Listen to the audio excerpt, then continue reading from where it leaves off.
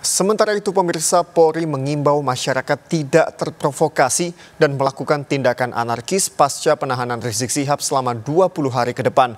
Polri juga mengingatkan siapa pun yang terbukti melakukan ujaran kebencian di media sosial akan diproses pidana. Kepada masyarakat secara luas, agar masyarakat tidak melakukan tindakan-tindakan anarkis dan masyarakat mempercayakan penyidikan atau penegakan hukum kepada aparat kepolisian. Karena apa?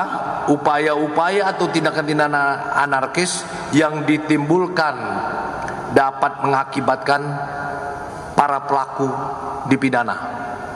Tidak memposting ujaran kebencian atau hate speech sekali lagi yang dapat berakibatkan melakukan pelanggaran hukum.